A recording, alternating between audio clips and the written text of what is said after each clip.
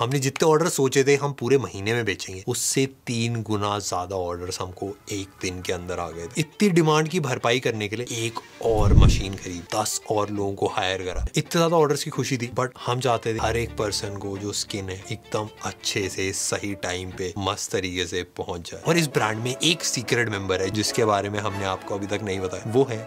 आप लोगों ने वीडियो स्टोरीज अलग अलग जगह आपने प्यार देखा है और ये ब्रांड इंडिया का नंबर वन स्किन ब्रांड बन चुका है